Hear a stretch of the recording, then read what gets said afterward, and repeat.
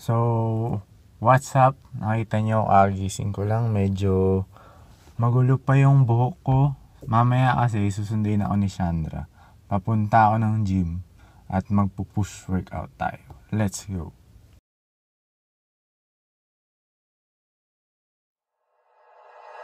like you. Be strong to hold the powers of the sun.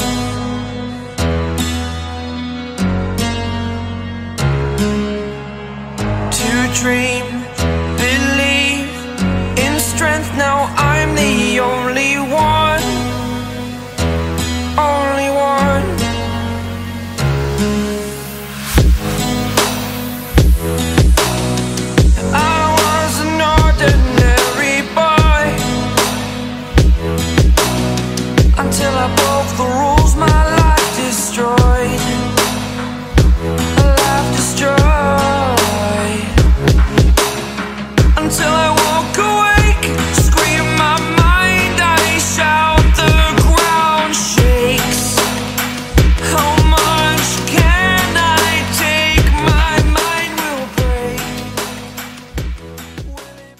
kakatapos ko lang mag-workout, pauwi na tayo kasi susunduin na ako ni Chandra.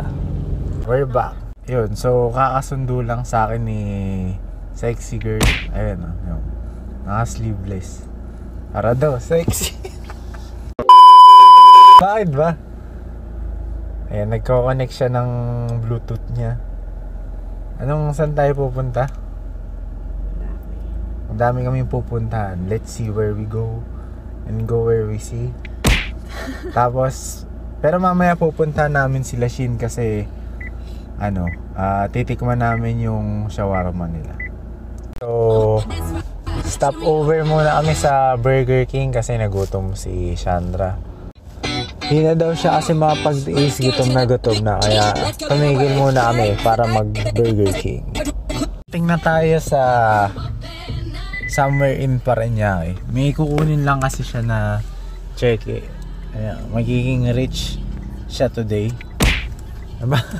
Kala mo naman hindi ka nakikita sa video dati. Yan, pagkatapos nito, sa kabila lang naman yung kay Lashin. Tapos, yun na, titikman natin yung shawarma nila. For 20 minutes, kaya nakuha na natin yung cheque. Pakita mo yung cheque. Eh, basta mayaman, milyones. Millionaire na to. Kaya maraming shawarma yung bibili niya kay Shin. Ayan, papunta na tayo ala Shin. Let's go. Na tayo kay Lashin. Kukunin na natin yung kanilang famous shawarma. Nakuha na namin yung shawarma. Pati. So, meron kaming freebies. Konting freebies. Ito, ganyan kalaki. Tapos 100, ay, 70 pesos lang. Kaya solid talaga. Solid, 70 solid. lang yan. Oo. 70, ganyan kalaki. So, Ano yung chicken? bili na kayo. Oo. Tapos meron pa siyang mga yun mga sauce sa fries kasi bumili pa si Chandra ng fries. Yun. Authentic shit yan, authentic. Good shit, good shit.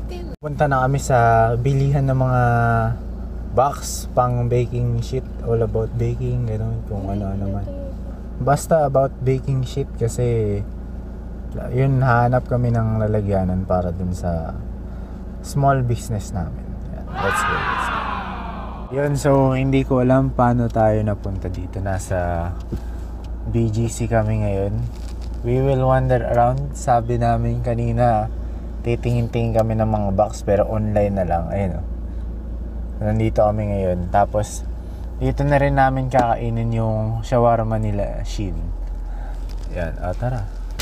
Okay, ito, ito. Yan. Ito yung kanya. Tapos, ito. Uy. Okay. Tapos, ito naman yung akin. Meron pa tayo ng fries. Ay, hindi pala fries to. Basta Arabic. Arab, Arabic chips. Yan, yan. Tapos, ito yung French fries. Oo, yun yung French fries na. Tapos, ito yung kanilang mild na garlic sauce. Ito naman yung regular garlic sauce. So, guys, kung gusto nyo nga pala ng shawarma na to, kahit saan man sa Metro Manila, pero syempre, sagot nyo yung delivery fee. Ililink ko na lang yung, tama ba? Ililink, di ba? Ililink ko na lang yung Facebook ni Nicole, i-chat nyo na lang siya para sa shawarma nyo. Saka nagbebenta rin sila ng ramen. Sayang di nga namin natikman. Kaya sila lang. Ako hindi ko natikman. Ito. Ayan yung fries. Ah, oo nga pala. Authentic shawarma to. Ganito yung shawarma sa ano, Middle East. Ano, paano ko malalaman? Kasi nanggaling ako dun eh. Kaya alam. I know this shit, ha? Ayan, kinagat niya na.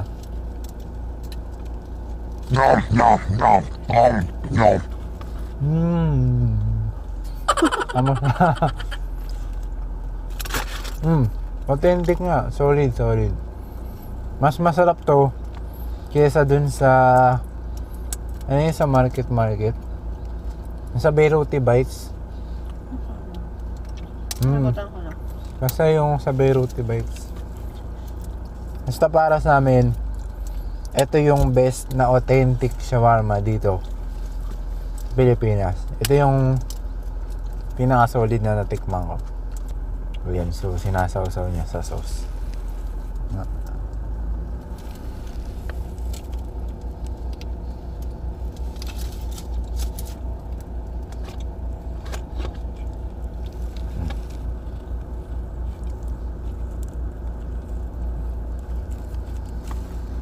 Ayun.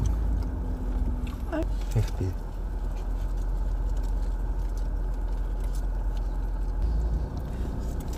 Saan na yung puti? Regular. And the, the secret sauce. Ganito pala magmukbang. Paano binibideo ka habang kumakain? Tara, mukbang na lang tayo. Nagaba ako na. Ano? Nagaba ako. Ano? Nagaba ako. Hmm? Nagaba ako na. Tataba ka nun? Suka mo.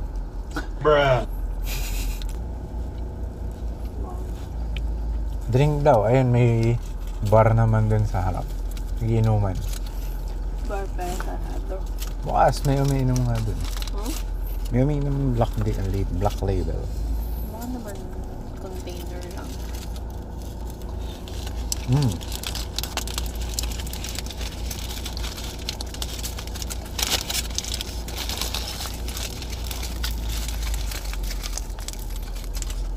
Ubos na yun sa akin. Kasi mabalis mo lang.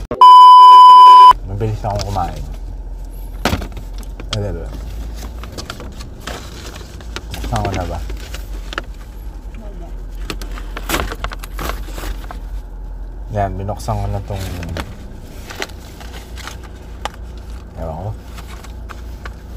Pita chips. Pita chips. Hindi siya pita. Hindi siya pita.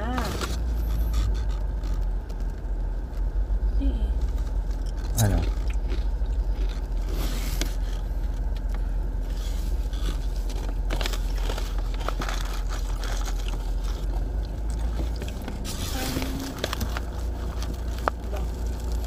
Basta lasang Arabian.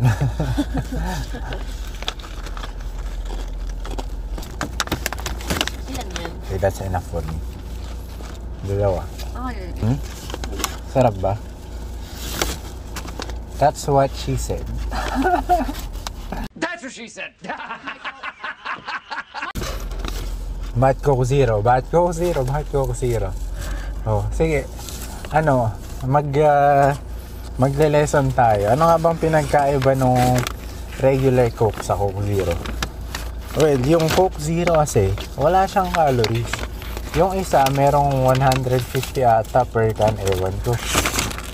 Basta yung isa, may calories. Yung isa, meron siguro 2 calories, pero sobrang na. Five. Ah, basta less than 5. Tama, tama, tama. So, less than 5. So, kung magko-coke zero kayo, ay kung magko-coke kayo, mag-coke zero na kayo. Para mag-save kayo ng 100 plus calories. So, no calories, no problem. So, sa mga nagsasabing nakaka-cancer yung Coke Zero, eh, tingnan mo naman ako, may cancer ba? Wala naman akong Lahat naman cancer. Lahat naman ng pagkain nga sa buong mundo nakaka-cancer. Pati tubig magkaka-cancer ka na. Oy, grabe ka naman. Hmm. Ganon kadami, ganon ka bobo yung mga tao ngayon. So, yun na, recommended ko yung Coke Zero sa any diet shit. Uh, re- sugar-free Red Bull, yung Monster na zero calorie, tapos Right and Light yun, solid yun. May bago. Dapat sponsor tayo ng Right and Light. Magiging milyonaryo sila. Bilyonaryo o milyonaryo. Magiging bilyonaryo sila. Ako yung gawin nilang model. Okay. Inumin ko. Iniinom ko yung araw-araw. Right and Light. Dalawa pa. Dalawa. Kasi sobrang solid. Dapat sponsor nyo ako. Ito. Busog na daw siya. Satisfied ka na? That's what she said. That's what she said. ngayong October, medyo may onting mga tao-tao na. Pero hindi pa rin kasing dami nung dati. Sarado pa nga yung mga inuman eh. Na kami sa street pero sobrang init so babalik na lang kami uli sa kotse. Kanina habang nag-film ako dun sa BGC, bigla nawalan ng battery so very nice tong cellphone. Pero anyways, yun nga, ah, pagkatapos namin sa BGC, umuwi na din kami. Hinatid ko na si Chandra. Tapos, yun, nagbike na lang ako pauwi. Kaya, medyo ganyan yung buko kasi nag-helmet ako. Alam niyo naman sa QC, bawal lang walang helmet. Kaya, yun lang. Stay safe. Tapos, like and share this video. Subscribe na rin kayo. Tapos, follow nyo ako sa Instagram. Yun lang.